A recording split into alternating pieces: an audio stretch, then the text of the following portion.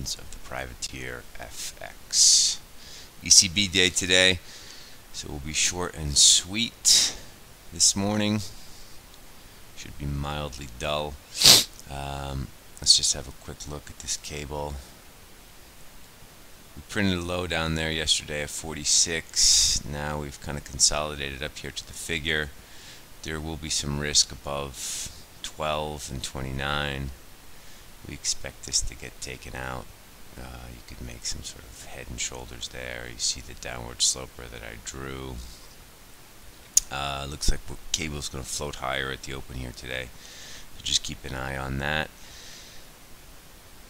Elsewhere, interesting days yesterday. Uh, dollar CAD, wow. Um, obviously, Bank of Canada Day.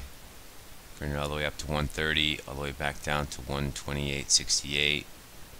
Full Monty.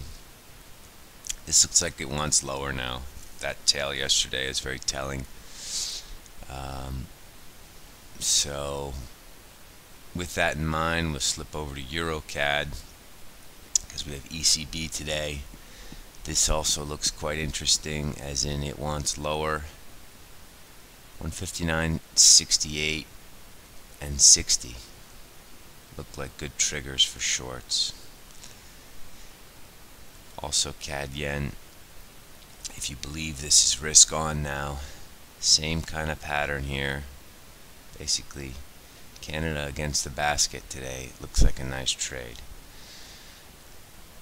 let's go ahead and look back at uh, e-minis we had uh, resignation of Treasury Secretary of the uh, economic whatever Gary Cohn and all the way back up this is the uh, this is the June future, by the way, not the March. Um, this looks like it's going to pop higher today at some point as well. So we're expecting a risk-on day today. We are not buyers of stock through this break. Uh, we will play in some of the currencies where we're a little bit more comfortable, but we had a chance to have a serious wipeout yesterday and it didn't happen.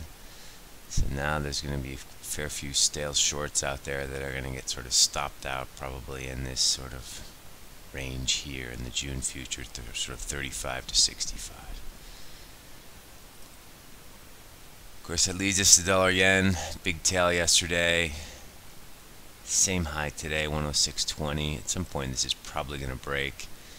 Uh, we do we do not really uh, fancy a dollar yen position today.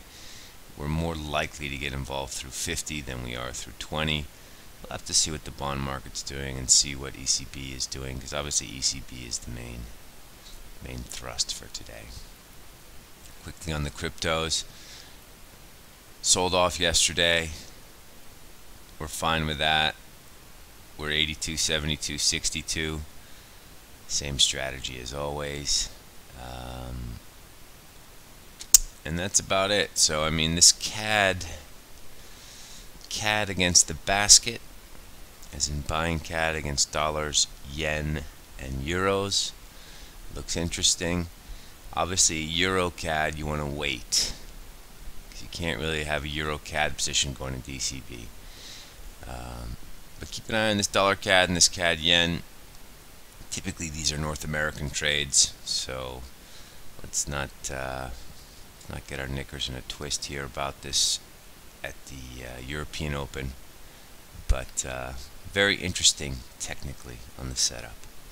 And also, as a little side note, cable looks like it's going to float higher just to screw some guys from yesterday. So we're going to keep it light this morning, do some reading, get some rest, uh, get ready for uh, the meat of the day, ECB.